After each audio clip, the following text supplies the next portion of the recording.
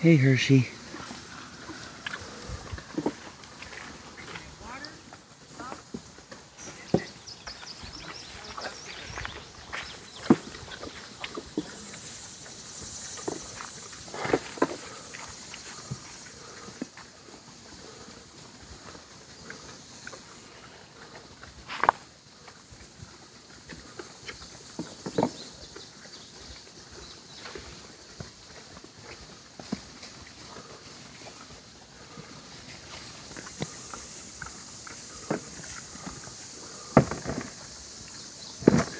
He's about a foot and a half tall.